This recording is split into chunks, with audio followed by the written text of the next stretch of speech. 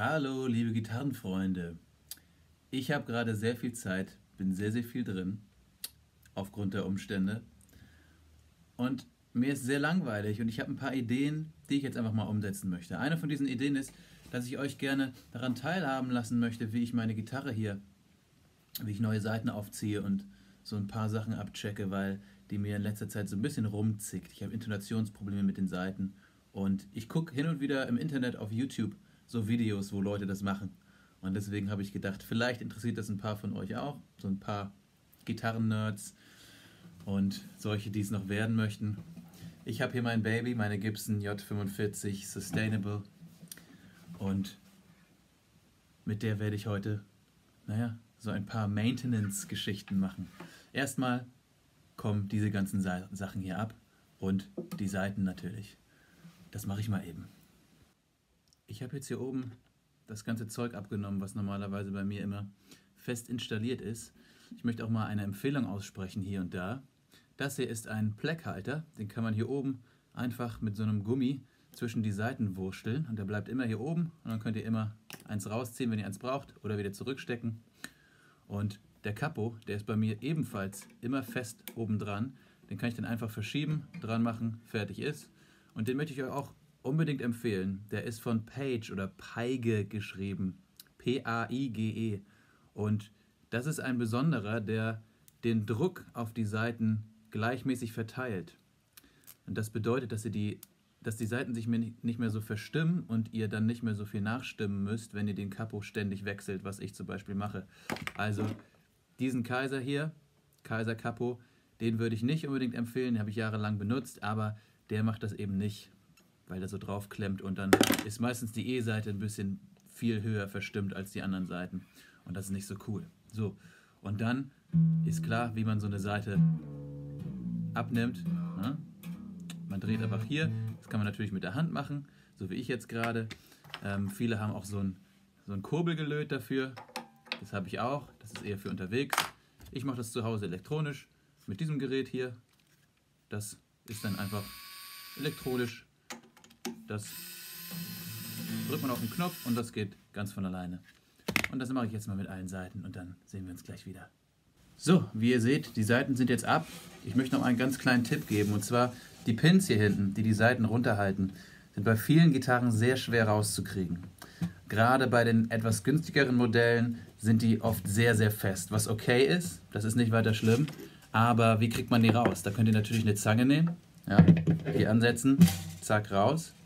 Wenn das nicht geht, was oft der Fall ist, weil sie wirklich super fest drin stecken, dann nehme ich manchmal, also ihr könnt alles Mögliche nehmen, aber seid sehr, sehr vorsichtig dabei. Ich nehme manchmal eine Nagelfeile und da kann man dann hier so drunter haken bei dem nächsten Pin, ja, bei dem Nachbarpin und dann hier so drunter hebeln und die raushebeln. Aber seid super vorsichtig dabei. Ihr könnt auch gerne so ein Stofftuch da drum wickeln.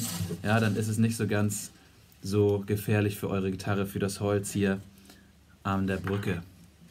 Und äh, genau, die ziehe ich jetzt mal alle raus. Wichtig ist natürlich, die nicht zu verlieren, also irgendwo hinpacken, wo sie nicht runterkullern können. Ja?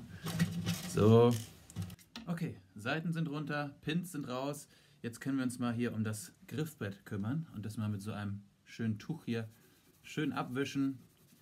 Die ganzen groben Reste erstmal runter und dann wird das gleich eingeschmiert mit so einem Öl und ein bisschen einwirken gelassen. So. Hier auch noch mal ein bisschen. Seid einfach ein bisschen lieb zu eurer Gitarre, ja? Das wird sie euch später immer danken. Jetzt kommen so ein paar Kleinigkeiten, die ich erstmal machen möchte, bevor ich dieses Öl hier drauf tue. So, kann ich auch empfehlen. Das hält schon super lange. Ich weiß gar nicht, ob es ein Ablaufdatum gibt, hoffentlich nicht, weil das ist sicherlich schon sieben, acht Jahre alt. So, ähm, eine Sache, die viele vielleicht vergessen mit der Zeit, aber hier oben je nachdem, was ihr für ein Modell spielt, gibt es so Schrauben. Und die ziehe ich gerne immer mal fest, wenn ich, wenn ich bei dieser Gelegenheit, weil die Mechaniken oben sich ja auch lockern, wenn man immer mal wieder dran dreht. Und ich mag die gerne schön fest haben. Ja, das mache ich mit allen sechs. Und dann vielleicht auch nochmal die ein oder andere Schraube hier, die die Mechaniken mit dem Kopf verbinden. Die kann man auch nochmal festziehen. Das mache ich jetzt erstmal nicht weil da wackelt nichts, da ist alles noch fest. Und Hier brauche ich auch nichts machen. An der Abdeckung für den Halsstab, das ist alles okay. Hauptsache es rattert nicht beim Spielen, das ist eigentlich die Hauptsache. Und was ich dann noch mache, hier oben mit dem Sattel ist, ich nehme einen Bleistift. Ihr könnt auch, was eigentlich auch noch besser wäre, könnt ihr so einen Bleistiftspender nehmen. Wisst ihr, wo ihr die Mine vorne reinstecken müsst? Das geht fast noch besser. Aber wenn ihr den richtig doll anspitzt, so wie den hier, dann kommt ihr hier auch rein. Und zwar geht ihr hier in die Rillen, wo die Seiten drin liegen. Da geht ihr schön einmal durch, die malt ihr schön von innen an. Ja, also dieses, das wird dann schön schön vorbereitet dafür, dass die Seite da gut durchgeht, weil das, das Material in dem Bleistift, das sorgt dafür, dass die Seiten etwas mehr, naja, so, eigentlich so wie, so wie so eine Art Gleitmittel, ja? Damit die da nicht hängen bleiben, sonst kriegt ihr nämlich auch Probleme beim Stimmen und so weiter. Und ähm, das mache ich jetzt mal. Schrauben sind festgezogen, die Gitarre ist schön großzügig angemalt hier oben am Sattel. Dann kann es losgehen mit unserem Öl. Deckel ab. Bisschen schütteln muss man es, glaube ich, vorher. Unbedingt sorgfältig schütteln, natürlich. Und dann gehe ich einfach hier Bund für Bund.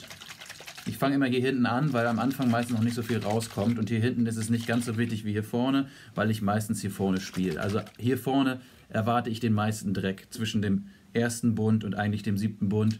Da ist immer am meisten los. Und da gehe ich jetzt drauf. Auf der Flasche steht A little goes a long way. Das bedeutet nicht zu viel. Gucken, dass es schön eingeschmiert ist, dass der Bund schön bis zum Bundstab eingeölt ist, schön glänzt. Und das mache ich jetzt mit allen Bünden. Und danach stelle ich sie hin und lasse sie ein bisschen stehen, ein bisschen einwirken. Liebe Gitarrenfreunde, ich habe es jetzt ein bisschen einwirken lassen. Ich kann gar nicht sagen, wie lange und ich kann euch auch nicht hundertprozentig sagen, dass es wirklich notwendig ist, dass ihr das Öl einwirken lasst. Viele sagen, dass man es direkt runterwischen kann. Ich fühle mich immer gut dabei, die Gitarre kurz mal hinzustellen, ihr so ein bisschen Wellness zu gönnen. So sehe ich das. Das fühlt sich ganz gut an für mich. Und dann nehme ich hier meinen Lappen und dann wird das schön runtergewischt. Und zwar schön mit, mit ordentlich Druck, dass hier der Dreck ordentlich runtergeht. So. Und dann, weil ich das ganz genau nehme, nehme ich danach nochmal meine Nagelfeile zur Hand. Und das ist wirklich, also das ist jetzt kein Pro-Tipp oder irgendwie sowas, sondern das ist einfach die Art und Weise, wie ich das mache. Ich mache das und das Tuch, damit es wirklich nicht die, das Griffbrett beschädigt. Und dann gehe ich hier nochmal an die ganzen Bünde ran und gerade an den Kanten, an den Ecken, da sammelt sich immer so der, der grüne Schweißrotz von den Händen, ja, vom Spielen. Den wollen wir weghaben. Ja? Deswegen gehe ich da hin und gehe mit der Spitze von der Pfeile daran und kratze das so weg. Ich kratze aber durch dieses Tuch. Das heißt, beim Griffbrett passiert wirklich nichts dabei. Und das mache ich jetzt mal, das dauert ein bisschen. Okay, der Handrotz ist ab. Da bin ich richtig sorgfältig durchgegangen. Das Griffbrett sieht aus wie neu. Wunderbar. Jetzt kommen so ein paar Kleinigkeiten, auf die ich noch hinweisen möchte.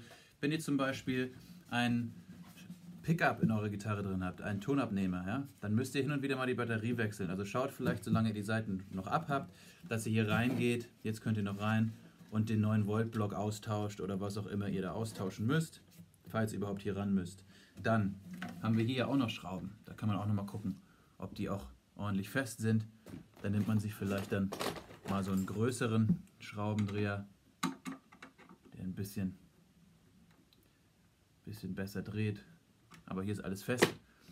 Und ich möchte auch noch mal diese Dinger hier empfehlen. Die halten den Gurt wunderschön an eurer Gitarre dran, dass der nicht aus Versehen mal abfällt auf der Bühne zum Beispiel und dann ist die Gitarre auf dem Boden. Das wollt ihr nicht. Ja, habe ich auf beiden Seiten. Hier ist es allerdings ein bisschen schwieriger. Ähm, ein bisschen ist gut, das ist ziemlich schwierig gewesen, aber ich habe den hier permanent hinten auch an meinem Strap-Halter dran, der gleichzeitig auch mein Input ist. Den Input kann man auch hin und wieder mal festdrehen, das brauche ich jetzt nicht machen, weil da komme ich sowieso gerade nicht ran. Mein Gurt möchte ich euch ebenfalls empfehlen von der Marke Le Levi's. Ich glaube, die, die auch die Jeans machen. Von Number One. alle Hamburger kennen vielleicht, Hamburger Gitarristen kennen Number One Guitars. Das ist tatsächlich deren, deren Strap, den sie irgendwann mal entwickelt haben, vor Ewigkeiten. Und der ist tatsächlich elastisch, Stretch. Also das kann ich wirklich jedem nur empfehlen. Es fühlt sich viel, viel besser an, finde ich, als die ganzen Lederstraps oder Nylon oder was auch immer, woraus die auch immer sind. Dann machen wir uns tatsächlich schon an die Seiten. Ich habe hier meine Elixier-Seiten NanoWeb, auf die ich schwöre. Phosphor-Bronze benutze ich. Es gibt auch noch Bronze 8020. 10er neuerdings. Probiere ich gerade aus. Machen wir das mal auf. Und dann werde ich jetzt mal an der ersten Seite demonstrieren, wie ich da so vorgehe. Ja, da gibt es so ein paar Sachen, die man beachten sollte. Erstmal raus damit. Das erste ist, ich mache hier hinten mache ich einen kleinen Knick.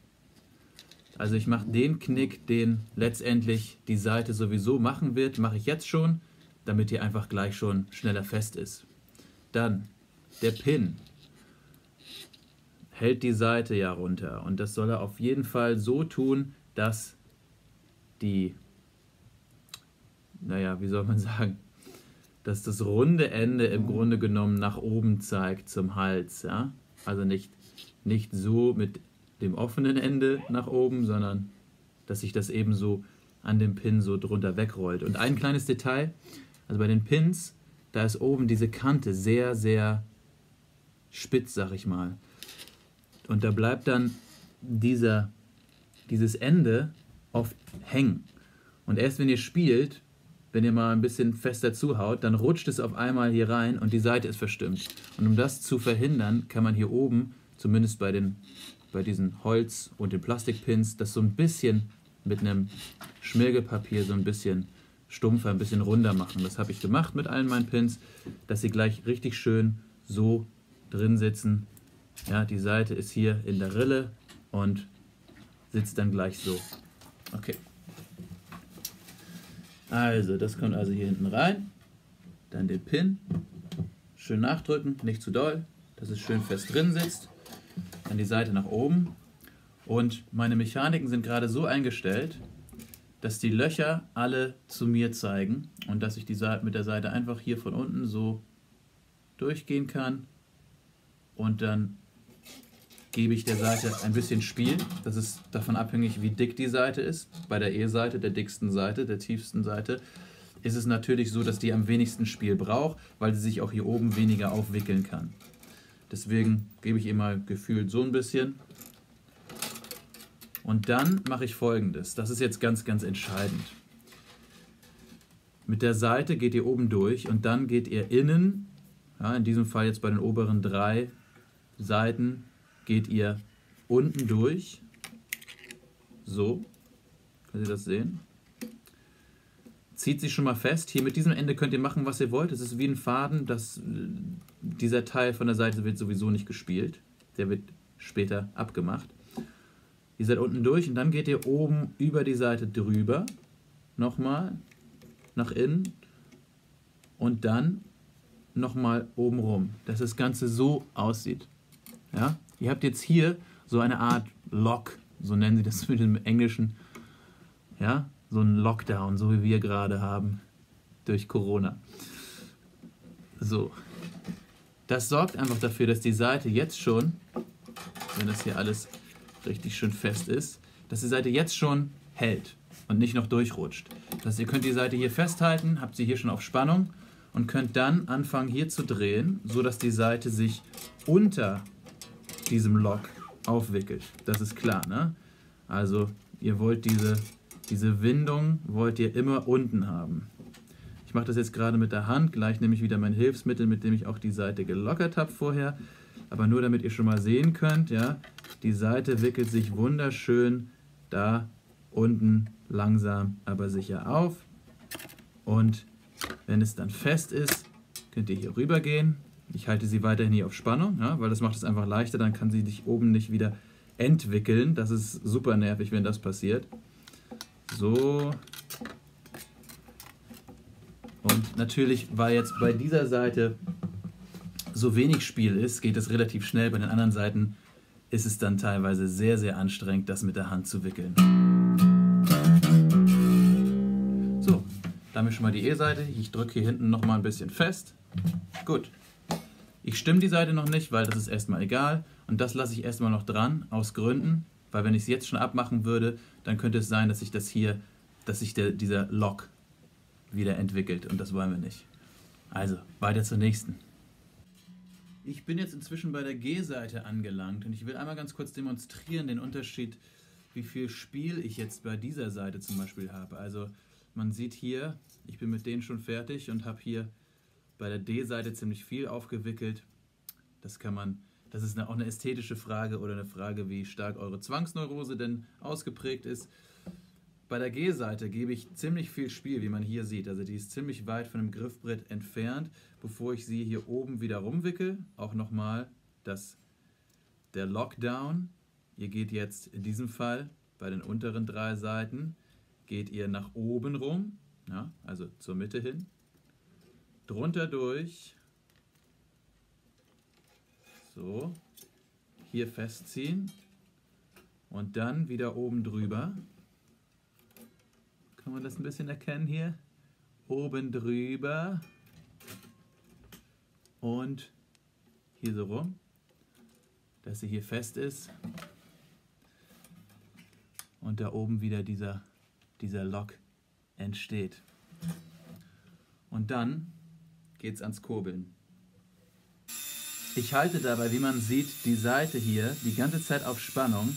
Also ich drehe sie auch so ein bisschen, damit ich sie die ganze Zeit so halten kann, wie sie dann letztendlich hier auf die Mechanik treffen soll. Ansonsten labert ihr hier die ganze Zeit rum und das mit dem Aufwickeln wird sowieso nichts. Da haben wir sie. Alle Seiten sind drauf und ihr könnt auch daran erkennen, dass ich unterschiedlich viel Spiel gelassen habe, daran, wie viel hier übersteht bei den Seiten. Ne? Wenn man die hohe E-Seite mal mit der tiefen E-Seite vergleicht, da ist ein gewisser Unterschied vorhanden. So, was wir jetzt machen, ist auch ganz, ganz wichtig. Und zwar, damit die Seiten sich nicht vom Spielen am Anfang zu leicht, zu schnell wieder verstimmen, stretchen wir die alle einmal. Also, ich werde jetzt die Seiten alle erstmal so stimmen, dass sie richtig sind. Ja, dass sie zu der Stimmung E, A, D, G, H, E passen. Und dann gehe ich durch und stretch. Dass die Seiten jetzt noch ziemlich steif und fest sind und so noch zusammensitzen, diese Windungen aufeinander, gerade bei den gewundenen Seiten. Das merkt ihr auch daran, dass wenn ihr alle Seiten einmal durchgegangen seid und gestimmt habt, die Seiten davor schon nicht mehr stimmen. Ja? Weil der Hals sich ja jetzt auch bewegt und so, weil er wieder gezogen wird von den Seiten. Das heißt, ihr macht das so lange, bis auf jeden Fall schon mal alle Seiten stimmen, dass schon mal so ein Akkord schon mal ganz gut klingt. Das ist jetzt gerade okay. Und dann fangt ihr bei der E-Seite an, bei der obersten Seite. Und jetzt werden die Seiten so gestretched, dass die sich einmal auseinanderziehen können, dass sie dann später das nicht beim Spielen machen und sich dadurch verstimmen, sondern dass sie jetzt schon mal im Prinzip vorgestretched sind. Ja? Also ich fange mal hier vorne an, ich drücke die Seite hier runter und gehe hier mit dem Finger drunter und ziehe so ein bisschen. Nicht zu, nicht zu doll, gerade bei den hohen Seiten kann das sein, dass ihr die dann einfach mal runterzieht von der Gitarre. Das wollt ihr nicht machen, okay? Das heißt, es ist im Grunde genommen so wie beim Schrauben, ja? Nach fest kommt ab. Also einfach so ein bisschen, bisschen ziehen. Man kann das auch so machen, dass man mit dem Zeigefinger runterdrückt, mit dem Daumen hochzieht. Das kann man dann hier so durchmachen. Ich mache das auf jeden Fall so. Auch gerne hier beim 12. Bund, wo die Seite ja am weitesten ist da gerne mal ziehen. So, und die Seite wird jetzt ein gutes Stück tiefer sein, weil ich habe sie gerade tief gezogen. Jetzt stimmt ihr sie wieder genau richtig, damit die Seite weiß, okay, da soll ich sein die meiste Zeit. Und dann macht ihr das Ganze nochmal. Nochmal schön festziehen. Sie wird jetzt ein bisschen weniger verstimmt sein, aber immer noch verstimmt. Bei mir ist es ein, ein Halbton. Und das macht er jetzt immer wieder, bis sie sich von dem Ziehen nicht mehr großartig verstimmt. Vielleicht so ein paar Cent zu tief, aber sie wird sich immer ein bisschen verstimmen, das ist klar, ja? Durch das Ziehen. Aber jetzt zum Beispiel muss ich nur noch ganz wenig nachhelfen, damit sie wieder gestimmt ist. Und das mache ich jetzt mit allen Seiten. Gerade bei den höheren Seiten, wie zum Beispiel jetzt gerade bei der umwundenen G-Seite bei Akustikgitarren, wird das ein paar Durchgänge benötigen. Und bei der hohen H- und E-Seite wirklich aufpassen mit dem Ziehen. Wirklich, da ist die Gefahr am größten, dass ihr sie abreißt, wenn ihr zu stark zieht. Und damit haben wir eine frisch beseitete Gitarre, die zwar immer noch ein bisschen metallisch klingt, besonders mit einem Pleck, ja, aber sich zumindest nicht direkt so leicht verstimmt wieder. Ja, die Seiten muss man natürlich noch ein bisschen einspielen. Und jetzt können wir uns hier um dieses Gebimsel hier oben kümmern. Und dieser Lockdown, den wir vorhin gemacht haben, der hat noch einen Vorteil. Nämlich man kann die Dinger einfach nehmen. Man braucht jetzt nicht eine Zange nehmen und das hier mühsam abknipsen, sondern man kann die jetzt nehmen und einfach hier am Ende, da wo sie im Prinzip in dieses Lockdown übergehen, einfach durch Hin- und Herwibbeln eine Sollbruchstelle erzeugen und sie dann einfach abnehmen. Ich mache das jetzt mit allen Seiten, es geht super schnell, gerade bei den tiefen Seiten, aber auch bei den hohen ist das gar kein Problem. Ja, ich drehe sie einmal nach da, einmal nach da, dann ist, schon, ist sie schon gebrochen und dann nur noch hin und her wibbeln und dann habt ihr das hier oben auch so super sauber, dass ihr auch nicht mit dem Finger da hängen bleiben und euch da irgendwie wehtun könnt oder sowas. Und es sieht einfach auch wunderschön sauber aus. Und das gefällt mir besonders, weil da bin ich etwas, naja, zwangsneurotisch und ästhetisch empfindlich, könnte man mal so sagen. So, die sind jetzt alle ab und ich kann hier anpacken, wie ich möchte. Es ist wunderbar. Toll. Es kann sein, dass sich dadurch, durch diese Bewegung, sich die Seiten gerade noch ein bisschen verstimmt haben. Aber das ist nicht mehr der Fall. Sehr, sehr schön. Was machen wir jetzt? Wir haben gerade unsere Seiten super doll angepatscht mit unseren Patsche, schwitzigen Patschefingern. Und deswegen wische ich hier noch einmal drüber.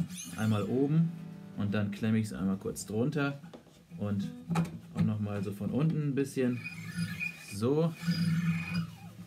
Bisschen den Schweiß abwischen, weil wenn ich die jetzt hinstelle und die so vollgeschwitzt sind, dann setzt sich das wieder an und wird wieder eklig. So. Genau. Damit haben wir es jetzt im Prinzip. Natürlich könnt ihr gerne auch den Korpus nochmal schön abwischen hier. Falls da irgendwie Dreck ist oder sowas, kann man da auch nochmal mit einem Öl oder sowas beigehen. Oder kein Öl, aber so ein, naja, je nachdem, wenn ihr Hochglanz äh, beschichteten Hochglanzfinish habt, dann könnt ihr sicherlich mit so einem Poliermittel dabei gehen. Ich habe für meine E-Gitarren habe ich hier so ein Spray, das kann man nehmen so ein Polish, auch von Kaiser. Und bei dieser Gitarre hier, die ist, hat ein Matt-Finish, da kann man auch mit Bienenwachs beigehen. Das habe ich jetzt auch schon mal ausprobiert. Ich habe das, glaube ich, nicht so wirklich richtig gemacht. Ich werde es nochmal probieren. Da kann man dann sowas nehmen. Das kann man mit einem Föhn anwärmen, damit es schön ein bisschen flüssig wird, schön weich wird und dann auch mit so einem Ding hier auftragen. Gerade beim Hals, ja, weil der Hals ist ja das, was man, was die meiste Zeit irgendwie, naja, in Benutzung ist und Abnutzung ist. Und man möchte ja gerne, dass es geschmeidig bleibt. Thema geschmeidig. Wir haben gerade die Seiten abgewischt. Jetzt habe ich hier noch sowas, das nennt sich Fast Fret. Da schwören viele Gitarristen drauf. Das ist, kommt aus so einer Dose und ähm, das kann man dann noch auf die Seiten oben auftragen. Dann werden die wohl ein bisschen gleitfähiger, ein bisschen, naja, das heißt ja Fast Fret. Also ich nehme an, man soll dadurch ein bisschen schneller über die Seiten gleiten können. Ich kann das nicht hundertprozentig bezeugen. Ich mache es aber trotzdem, weil so ein bisschen Placebo ist ja immer. Nicht wahr? Es soll sich ja auch gut anfühlen. Man soll mit einem guten Gefühl das Instrument in die Hand nehmen und dann möglichst lange, möglichst gut darauf spielen können. Genauso wie sie jetzt ist, ich fasse sie gar nicht mehr an, stelle ich sie erstmal in die Ecke und fasse sie eine Weile nicht an. Und dann, ähm, wenn ich sie anfasse, dann wird erstmal ganz viel gespielt, bis die Seiten dann wirklich so klingen, wie sie am Ende am schönsten sind. Mm, das riecht auch ganz toll gerade. Wunderbar, liebe Leute, ich hoffe, es hat euch gefallen. Ich hoffe, ihr hattet ein bisschen Spaß und habt vielleicht das eine oder andere gelernt und dass ich vielleicht auch eure Langeweile dadurch so ein bisschen beheben konnte für einige Minuten. Macht's gut, habt noch einen schönen Tag und vor allen Dingen bleibt gesund, bleibt zu Hause. Bis dann. Euer Tom Klose.